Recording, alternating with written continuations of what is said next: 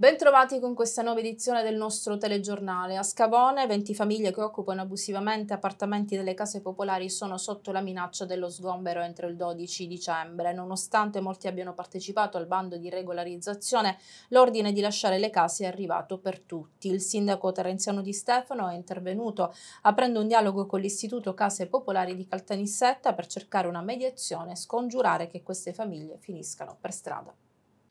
20 famiglie che da anni vivono nelle case popolari del quartiere Scavone occupate abusivamente temono di essere sfrattate entro il 12 dicembre. L'allarme è scattato con l'arrivo degli ordini di sgombero nonostante molti abbiano partecipato al bando di regolarizzazione lanciato dallo IACP lo scorso anno. La preoccupazione principale è che queste famiglie, già in una situazione di precarietà, possano ritrovarsi senza un tetto. Il sindaco Terenziano e Stefano, consapevole della gravità della situazione, ha avviato un confronto diretto con l'Istituto Case Popolari di Caltanissetta per trovare una soluzione e garantire garantire che nessuno finisca per strada. L'obiettivo è quello di evitare lo sgombero forzato e valutare le possibilità di regolarizzazizione per gli attuali occupanti. Nessuno oh, si potrà permettere di mettere per strada delle famiglie, eh, specialmente in presenza eh, di eh, disabili o di bambini. C'è un'interlocuzione attiva con eh, lo IACP di Caltanissetta come amministrazione comunale abbiamo già convocato per la prossima settimana un incontro proprio per definire eh, le criticità eh, che eh, diciamo stanno eh, piano piano preoccupando i nostri, i nostri, concittadini e in maniera particolare quelle famiglie che al momento eh, risiedono in questi locali del, dello IACP. Il primo cittadino inoltre ha chiesto una ricognizione urgente degli appartamenti sfitti presenti nel complesso di Scavone. Decine di immobili sono vuoti e in condizioni di degrado e potrebbero essere assegnati in tempi brevi a chi ne ha bisogno. L'incontro che ci sarà la prossima settimana verte principalmente nel fare una ricognizione. Noi come Comune di Gela chiederemo una ricognizione puntuale di tutti gli immobili dello IACP che sono presenti nel nostro territorio e poi a seguito di questo incontro ovviamente cercare una soluzione che potrebbe essere, uso il condizionale per non magari illudere nessuno, ma potrebbe essere quello appunto di regolarizzare queste famiglie. Ed è proprio la regolarizzazione che chiedono queste famiglie, pur riconoscendo l'illegalità dell'occupazione, ma sottolineando di averlo fatto per necessità. Sperano in una soluzione che possa stabilizzare la loro situazione e prevenire lo sgombero. Il presidente della regione eh, siciliana Schifani ha rappresentato al commissario dell'acqua l'importanza di riattivare la prim prima possibile i tre dissalatori di Porto Empedocle, Gele e Trapani ormai dismessi da oltre dieci anni. Il governo della regione ha già stanziato 90 milioni di euro all'interno dell'accordo di coesione sottoscritto col governo nazionale per accelerare l'iter. Il presidente della regione siciliana Renato Schifani ha chiesto e ottenuto da Roma che ad occuparsene sia il commissario nazionale al quale la legge ha assegnato pieni poteri di deroga sui tempi di realizzazione. Ieri pomeriggio il presidente siciliano ha incontrato a Palazzo d'Orleans il commissario nazionale per l'emergenza idrica Nicola Dell'Acqua che da oggi effettuerà un sopralluogo nei tre siti che, eh, che occupano i dissalatori e nel contempo approfondirà tutte le procedure per l'avvio del percorso di realizzazione dei tre impianti definitivi da completare entro la prossima estate. Alcuni residenti di via Bartola hanno organizzato un sit-in per sollecitare il completamento del museo a cielo aperto dopo che i lavori sono stati nuovamente fermati. Alla protesta hanno partecipato l'assessore eh, Viviana Altamore e il consigliere comunale Massimo Giorrannello. La pausa nei lavori sembra dovuta all'attesa dei contenuti multimediali della sovrintendenza eh, per il totem descrittivo. L'assessore ha confermato che la sovrintendenza ha fornito il materiale richiesto e che presto sarà definito un cronoprogramma per completare completare l'opera già in fase avanzata. Ogni volta che i lavori si fermano, il sito si trasforma immediatamente in discarica e così alcuni residenti di Via di Bartolo hanno organizzato nel pomeriggio di ieri un sit-in per chiedere conto dei tempi di completamento del museo cielo aperto previsto in quell'angolo di centro storico. Al sit-in hanno partecipato anche l'assessore Viviana Altamore e il consigliere comunale Massimiliano Giorrannello. Ancora una volta la musealizzazione della necropoli affiorata durante i lavori per la fibra ottica si è bloccata e i cittadini vogliono capirne i motivi. Siamo venuti qua un gruppetto di amici insieme al comune di Gela eh, perché vogliamo sapere ed esigiamo che questo luogo venga finalmente ultimato, questo sito.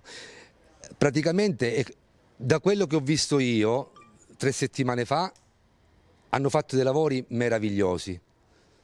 Adesso non sappiamo per l'ennesima volta perché si sono fermati. Il motivo dello stop al momento sarebbe legato al fatto che Open Fiber, che si sta occupando della realizzazione dei lavori, attende dalla sovrintendenza i contenuti multimediali da inserire nel totem descrittivo che verrà collocato nel sito. La sovrintendenza, come indicato lo stesso assessore Altamore, ha da poco provveduto a farlo. Ci sarà un ulteriore incontro per stirare il cronoprogramma definitivo che dovrebbe portare così all'ultimazione dei lavori in fase piuttosto avanzata a circa tre anni dall'avvio quanto era in competenza del comune di Gela è stato fatto ed inoltre sono stati già eh, svolti degli incontri con la soprintendenza e con Open Fiber e con la ditta esecutrice i lavori eh, per diciamo, mettere in comunicazione i diversi soggetti e individuare le tappe che devono essere compiute per portare a ultimazione il lavoro. E a questo fine eh, possiamo dire che siamo arrivati alle battute finali e che quindi quindi abbiamo un aggiornamento per la prossima settimana che era già calendato eh, nel quale avremo proprio il cronoprogramma degli ultimi passaggi che devono essere compiuti per l'ultimazione dei lavori. L'assessore e il consigliere cittadini intervenuti comunque invitano tutti a rispettare quella zona evitando di trasformarla in una sorta di area franca con rifiuti di ogni tipo. Io l'altra sera ho denunciato una uh, con una foto uh, dei sacchi di spazzatura proprio qui dietro. Non so se ancora c'è il sacco pieno di, di spazzatura sempre anche all'interno ci sono anche dei sacchetti, non so se qualcuno ha, ha tolto perché io sono passato e ho fatto delle foto e quindi eh, puntualmente l'indomani non c'erano, quindi sicuramente qualche furbetto avrà fatto la sua parte. La cittadinanza deve essere consapevole della bellezza dei siti e dei reperti che la nostra città possiede e deve partecipare insieme a noi alla ehm, migliore gestione possibile degli stessi. Quindi certamente la cittadinanza deve maturare una coscienza maggiore e un'attenzione, una protezione proprio per i siti stessi. La cronaca ancora una volta si tratta di presunte truffe tributarie ricostruite dagli investigatori. Tra gli imputati anche due gelesi. Le contestazioni del PM eh, vengono mosse nei confronti di Massimiliano Mangione, Giovanni Interlicchia, Luigi Bonanno, Giovanni Guardiano, Antonio Alessi, Giuseppe Arabia, eh, Imran Rome, Ali Ashgar, Naved Iqbal, Mauro Ragazzoni, Giuliano eh, Pesenti, Cristina Ragazzoni, Michele Ragazzoni, Giorgio Fanton, e Daniele eh, Scandella. Le richieste di rinvio a giudizio è stata formulata pure per i gelesi Matteo Collura e Rosario Catalano, entrambi difesi dal legale Angelo Cafà. I legali si sono opposti al rinvio a giudizio ritenendo che le operazioni ricostruite dagli inquirenti non siano irregolari. Dalle indagini sono emerse presunte irregolarità eh, sull'IVA, sull'accollo dei crediti e sulle compensazioni. Una nuova verifica sui fondi per la rete fognaria di Manfri è stata effettuata ieri dall'assessore Fave e dal consigliere Cuvato, gli stanziamenti ci sono e servirà un'integrazione ulteriore. Intanto eh, si spinge per uno stralcio funzionale con i fondi già a disposizione. Era stato indicato al commissario per la depurazione, una conferma è arrivata agli uffici regionali del Dipartimento della Programmazione, circa 3 milioni 300 mila euro per il sistema fognario di Manfria sono ancora a disposizione. L'assessore Giuseppe Fava e il consigliere del PD Antonio Cuvato hanno effettuato una verifica negli uffici palermitani. Ci sono le condizioni per andare avanti, così hanno spiegato, c'è la massima attenzione dell'amministrazione comunale e anche del Partito Democratico. Si tratta di un'opera, secondo Fava e Cuvato, dato da legare al collettore. Si lavora sullo stralcio funzionale per partire anzitutto con i fondi a disposizione. L'incremento dei prezzi ha determinato l'esigenza di un'integrazione da circa 1.800.000 euro. Fava e Cuvato sono convinti che si debba partire da subito con i circa 3 milioni già previsti, successivamente si integrerà con il resto. I fondi principali ci sono e si dovranno individuare gli stanziamenti ulteriori. Fava e Cuvato sono in contatto con i vertici di Ati e Caltaqua. Il progetto per il sistema fognario di Manfrea da estendere alle altre frazioni è stato vagliato in linea tecnica. Durante gli incontri palermitani c'è stata la possibilità di affrontare un altro nodo, la ripresa dei cantieri per il raddoppio del depuratore consortile all'interno del sito di raffineria. I lavori sono fermi da tempo per via di un aumento netto dei prezzi. Occorrono almeno altri 4 milioni di euro. Si cerca di capire se sia possibile intervenire con fondi FSC. Le verifiche sono state condotte su iniziativa dei DEM anche attraverso l'ex parlamentare regionale Calogero Speziale. Il ciclo fognario e della depurazione è essenziale pure per superare le infrazioni comunitarie. Nelle ultime settimane si sono susseguiti gli interventi pubblici a garanzia dell'accordo di programma per l'area di crisi locale. La scadenza finale sulla base dell'atto integrativo di settembre di due anni fa è fissata per giorno 23 eh, ottobre. Ministero e Regione hanno sempre confermato il budget destinato ai progetti di rilancio del territorio alternativi a quelli di Eni.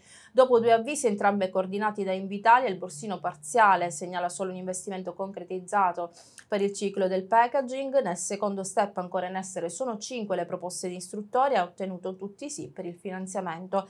Alla riunione del gruppo di coordinamento e controllo tenutasi un mese fa hanno partecipato il sindaco di Stefano e l'assessore Franzone. A dieci anni dall'intesa per la riconversione del sito Eni gli investimenti alternativi non si sono visti.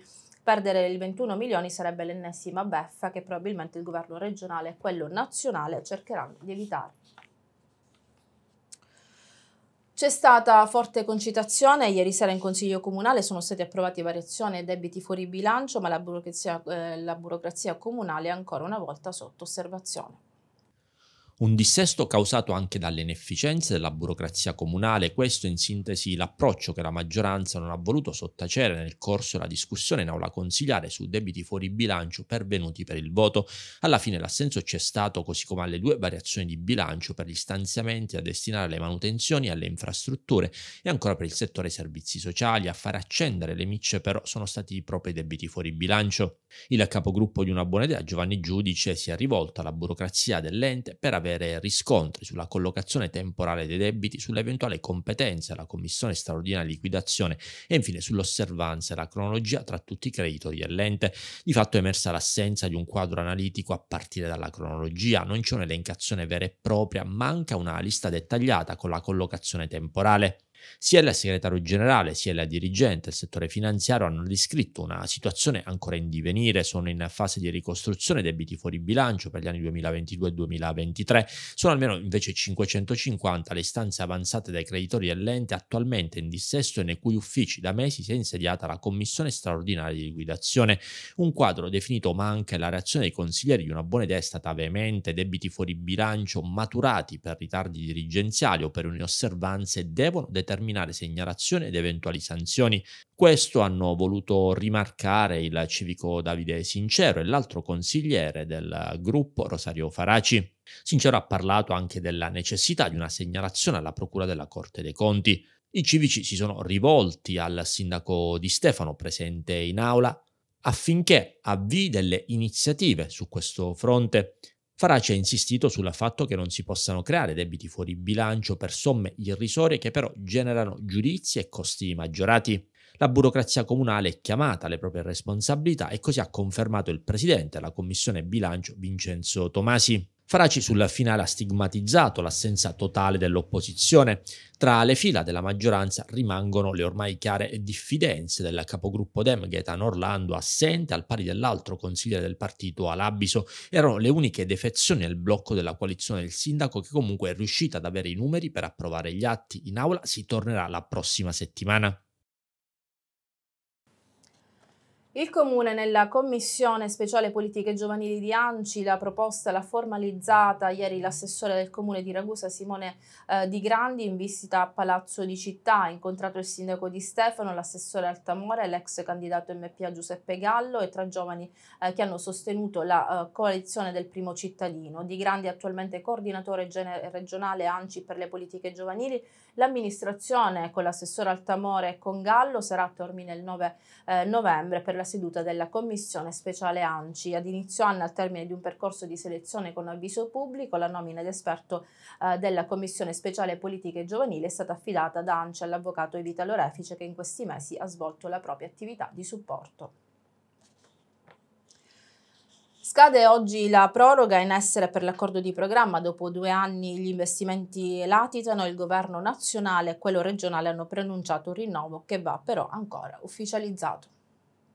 Nelle ultime settimane si sono susseguiti gli interventi pubblici a garanzia dell'accordo di programma per l'area di crisi locale. Il ministro Adolfo Urso, senza timore di smentita, ha riferito che sarà prorogato nuovamente.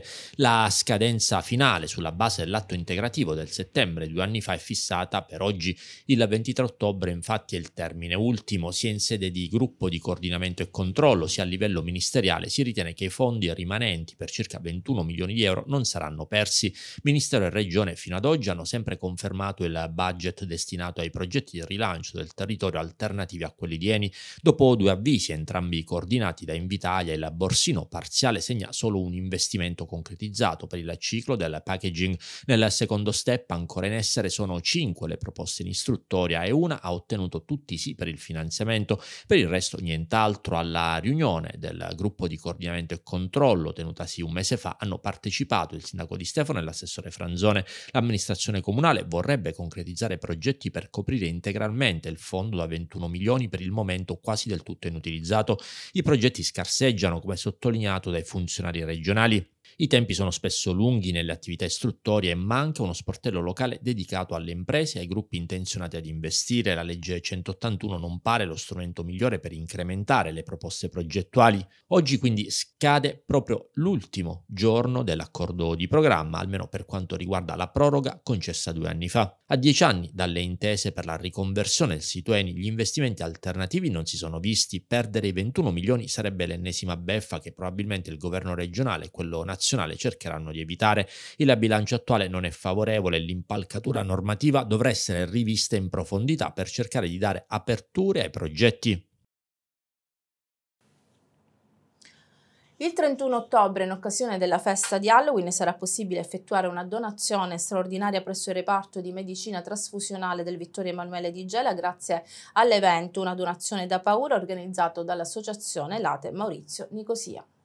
Quello che si avvicina sarà un Halloween speciale grazie all'associazione Late Maurizio Nicosia, che ha organizzato l'evento Una donazione da paura. Non ci saranno travestimenti spaventosi né brutti scherzi, ma solo tanto sangue, quello dei donatori del reparto di medicina trasfusionale del Vittorio Emanuele di Gela. Giorno 31 ottobre, donatori ed aspiranti donatori che si presenteranno nel reparto sito al primo piano dell'ospedale potranno infatti vivere la festività con uno spirito diverso, quello del dono. Quest'anno abbiamo voluto festeggiare la festa di Halloween in modo particolare, portando, eh, cercando di portare donatori e aspiranti donatori presso il centro trasfusionale, perché più che altro ci serve a rilanciare e informare la collettività che dal lunedì al sabato anche al centro trasfusionale si può donare. Tutti possono avvicinare tutti sia per donare che, eh, ripeto, per, perché per gli aspiranti donatori che vogliono venire a vedere se sono eh, eh, idonei alla donazione e magari un domani diventare donatori. I donatori servono sempre, quindi più ce n'è meglio è. L'iniziativa ha lo scopo principale di rilanciare il reparto di medicina trasfusionale, che passa dallo scambato rischio di chiusura per la mancanza di organico al contare oggi due unità mediche in pianta stabile, che permettono di effettuare le donazioni da lunedì al sabato anche presso l'ospedale. Questa iniziativa è assolutamente da apprezzare. Purtroppo la medicina ha molte esigenze, per cui eh, c'è necessità in tanti campi e allora lo sforzo deve essere sempre più forte. Per cui noi dobbiamo ringraziare lo sviluppo della medicina che attraverso tante eh, situazioni riesce a, ad aiutare tante persone. E quindi il sangue diventa sempre un bene più prezioso. Proseguono così le iniziative di sensibilizzazione sull'importanza della donazione di sangue ed emocomponenti, un gesto semplice e sicuro che rappresenta un grande aiuto per gli altri periodo d'estate c'è stato un po' di carenza di sangue, ma come diceva poco fa il medico, leggermente sta andando benino, non bene, benino. Si è implementato qualcosa in più. Speriamo bene che si avvicino al mondo della donazione, così daranno un dono e aiutando tutti gli altri che ne hanno di bisogno.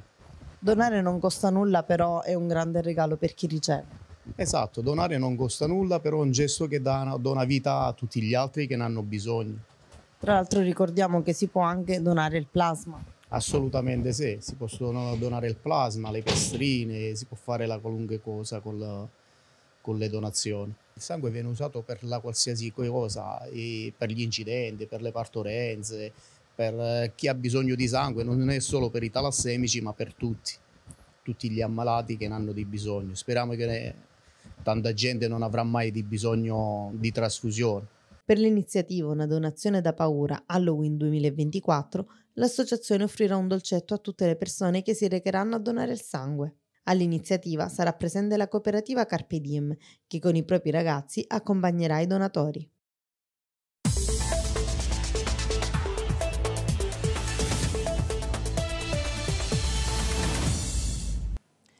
Lo sport, Angelo Caronia è il nuovo giocatore del Gela, l'esterno palermitano si è svincolato solo ieri dall'Unitas Sciacca e si è potuto leggere e legare alla corte dei presidenti Totò Vittoria e Marco Scerra. Ha firmato il Gela, eh, col Gela anche l'interno del centrocampo Alessandro Di Dio, ex Gela FC con numerosa esperienza alle spalle nel campionato di Serie C.